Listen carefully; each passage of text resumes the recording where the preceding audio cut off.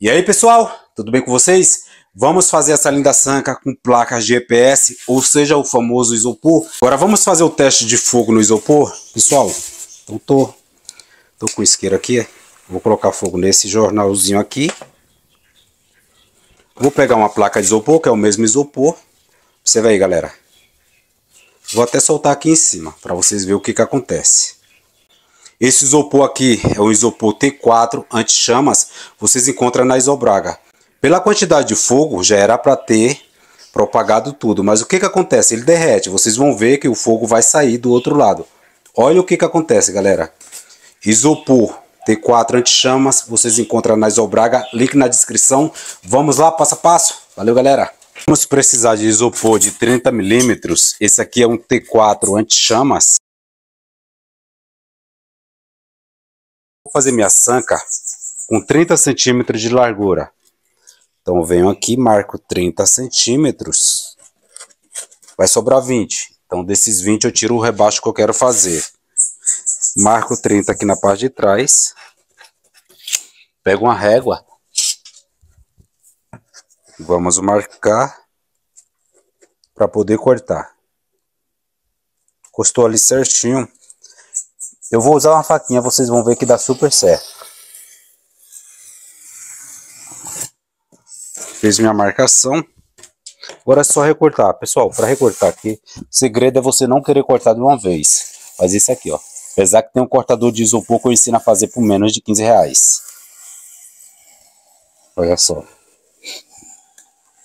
Se eu tivesse afundado até o final, ia esfarelar e ia fazer o corte errado. Venho novamente aqui. Olha só. Agora eu já consigo retirar.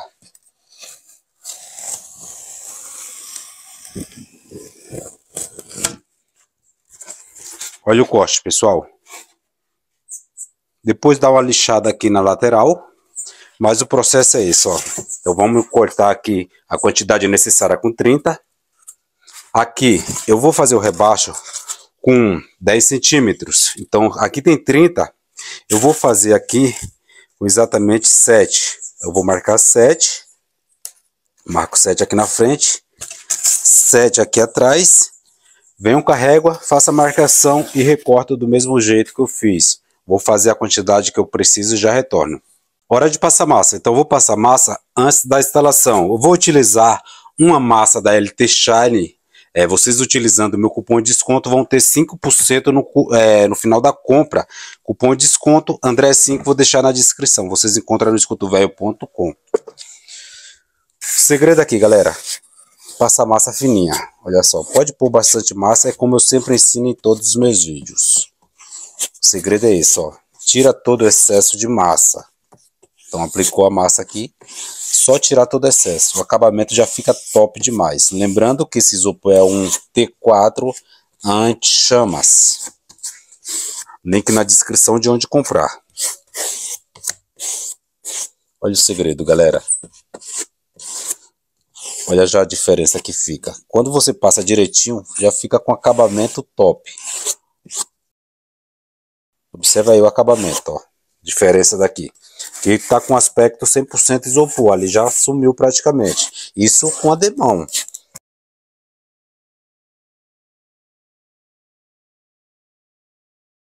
Vamos montar a sanca. Pessoal, vocês vão ver que é muito fácil de fazer. Se gostar, deixa o like que vai me ajudar bastante. Se ainda não me segue, ainda não é inscrito no canal, já se inscreve e ativa o sininho. Pessoal, também é placa de 30 milímetros. Aqui a gente passou uma camada de massa, como vocês puderam observar. Cortei com 7 centímetros de altura para no total ficar com 10.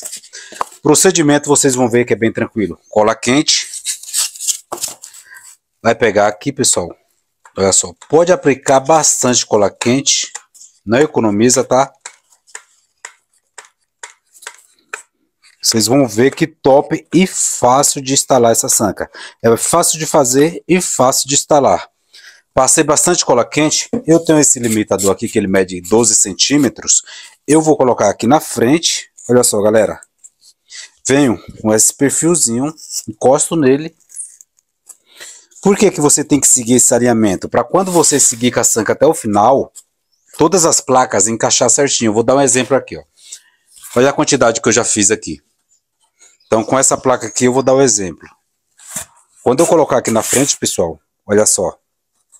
Vai bater certinho. Observe aqui, ó. Por isso que é muito importante, quando você for fazer, você medir. Faz tudo sobre medida, porque quando vai instalar não tem erro, não tem segredo. Então vou só pressionar aqui. Essa já foi.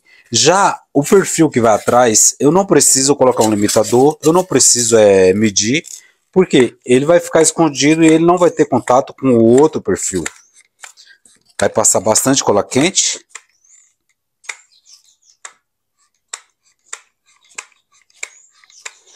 Passou a cola quente, eu vou deixar 2 centímetros aqui só. A princípio, mas não precisa deixar. Se você quiser colar no cantinho, pode colar. Mas enfim, eu deixei esse espaço aí, tá? Se quiser deixar. De repente, você quer colocar uma fita LED aqui por trás, você também consegue. Pessoal, a sanca é isso. Não tem segredo fazer uma sanca. Quando eu for instalar, vocês vão ver. Ó, ela vai ficar nessa posição aqui. Vou fazer a quantidade necessária, já está acabando, como vocês podem ver aqui, só, já fiz quase tudo, falta só algumas placas. Já retorno para a gente ir para a instalação. Pessoal, vou começar pelaquele canto. Então, todos os cantos vocês têm que tirar um pedaço aqui. Ó. Por que, André? É porque precisa passar a fiação, galera. Se vocês não abrir aqui, ó, vocês não vão conseguir passar a fiação, tá? Então, recorte isso aqui. Poderia ter montado sem, Poderia, mas aí tem a questão do alinhamento. Então eu recomendo que você faça isso. Para colar, vai ser diferente, tá? Vai ser com a cola quente. Vocês vão ver a resistência disso aqui. Cola quente, super recomendo. Sempre usei cola quente. Tem trabalho meu aí de mais ou menos 8, 9 anos, tá do mesmo jeito. Então recomendo que faça com cola quente. O bom da cola quente é que vocês vão economizar uma grama.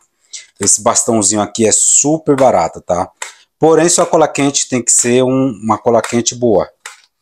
Depois eu vou passar para vocês tudo direitinho. Olha só, pessoal. Processo é isso aqui, ó. Então, apliquei bastante cola quente. Vamos lá? Vamos instalar. Eu vou fazer essa sanca tabicado, como eu já falei. Encostei uma placa dessa aqui na minha moldura. Observe aí, galera. Agora eu faço isso aqui. Eu venho com a outra do outro lado. Justamente para formar o espaço. Vou encostar na placa que eu acabei de colocar. Agora eu faço isso. Só vou pressionar aqui. Ela já vai colar no meu teto. Encosta. Só pressionar aqui, é como eu falei. Rapidinho ela cola, você não pode, não precisa ficar segurando. Encostou, ela já colou. Então não tem segredo, tá? Bom de fazer com a cola quente é isso. Também se colar errado, vai ficar errado. recomendo que sempre que você for colar a próxima placa, você olhe direitinho para ver se está batendo certinho. Pessoal, próxima placa, olha a quantidade de cola. Agora vamos lá. Já puxei esse pedaço de isopor para frente para formar o espaço de 2 centímetros. Vou encostar aqui nele, levo para outra que eu já colei Agora aqui simplesmente é só fazer isso, pessoal. Deixa da mesma altura. Tanto da mesma altura. Vai só pressionar.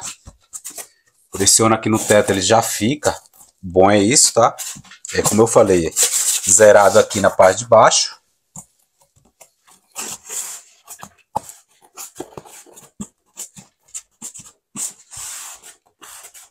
Só lembrando que esse forro aqui é de isopor também. Então, o forro é de isopor, é, direto, estava direto na telha, a gente fez o rebaixo com os arames. Passou a cola quente, vamos colar aqui no teto. Pessoal, lembrando que se você for fazer com a cola quente e, a cola, e a, o seu forro não tiver pintado, não vai segurar, tá? Não vai segurar porque a cola quente ela não cola direto na massa. Tem que estar tá pintado. Olha só, pessoal. Postou aqui. Só pressionar no teto. Pressionou no teto aqui, ele já cola. Pode soltar que não cai. Vamos dar continuidade. Olha só. Então vou encostar. Fiz alguns dentes aqui para poder encaixar certinho.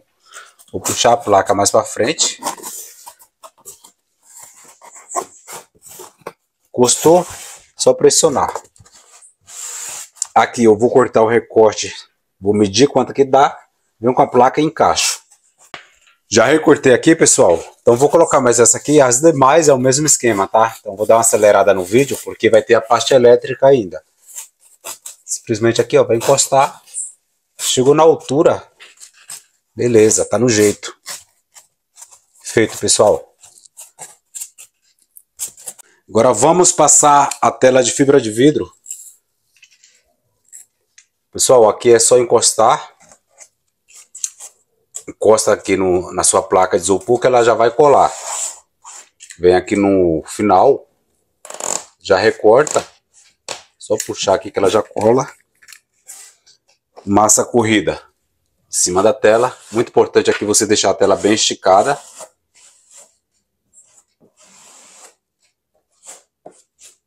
Após secar, a gente vai passar em toda a placa. E aí vai ser a segunda demão. A primeira demão eu apliquei lá fora, antes da instalação. Agora sim eu passo em tudo justamente para esconder melhor a telinha. Pessoal, esse fechamento aqui eu vou aumentar só um pouquinho, então vou colocar com 4 centímetros só para esconder a fita LED, tá? Então passei cola quente. Só encostar e pressionar aqui.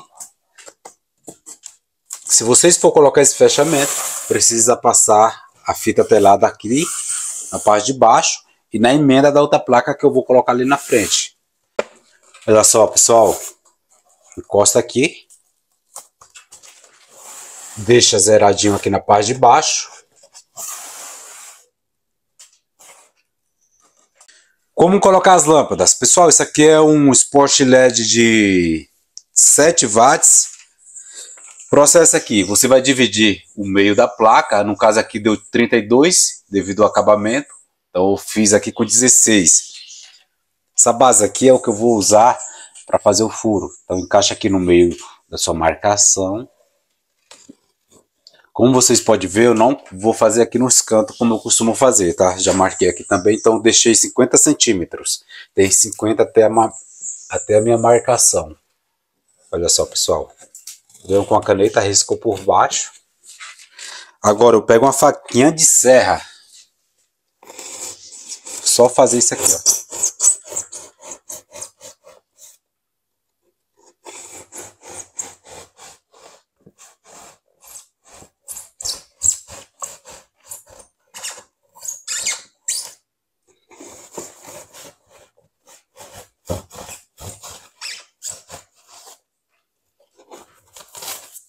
Tá feito.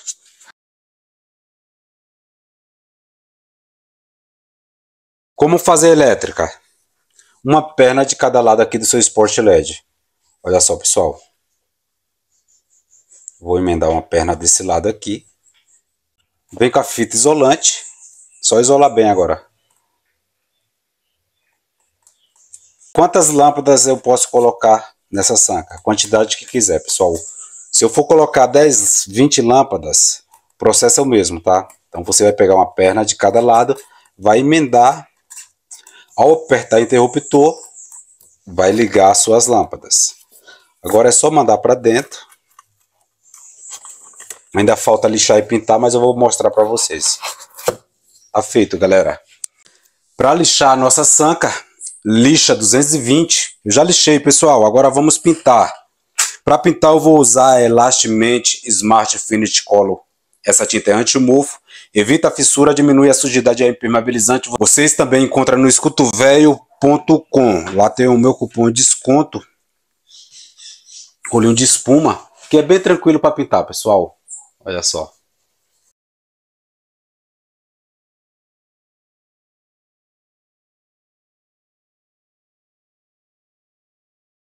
Pessoal, como colocar a fita LED? Quando eu estiver fazendo a elétrica aqui, já deixa um ponto de tomada lá em cima para você conectar. Então vai conectar a fonte, tem o drive, só conectar na fita. A fita não precisa colar aqui em cima, por quê? Ao você colocar aqui, ela já fica. Vou dar um exemplo, eu não vou colocar agora porque eu acabei de pintar. Você vai fazer simplesmente isso aqui, ó. Mandou para cima, só deixa o LED voltado para o forro, tá? Não deixa o LED para baixo, caso contrário ele aparece na parte de baixo, tem que ficar para cima. Mas é isso aí, ó. Eu não vou colocar agora porque acabei de pintar, vai acabar sujando aqui o serviço. Mas tem um vídeo bem detalhado, todo passo a passo direitinho no canal. E olha o resultado, pessoal. Olha como ficou aí. Top demais. Observe aqui na parte de baixo que a iluminação não passa, tá? Olha que show. Como vocês puderam ver, não tem segredo. Fácil, basta seguir o passo a passo direitinho. Muito importante aí quando estiver mexendo com pasta elétrica, desligar o disjuntor, né, para que vocês consigam primeiro preparar aí todo o ambiente, para depois você ligar o seu interruptor. Olha que top, galera. Gostou do vídeo? Eu vou pedir para vocês deixar o like para me ajudar se ainda não é inscrito no canal, já se inscrever, deixar o sininho ativado. Sempre que eu chegar com esses projetos, com essas dicas bacana, vocês já vão receber a notificação aí automaticamente. Um forte abraço, fique com Deus e até o próximo vídeo.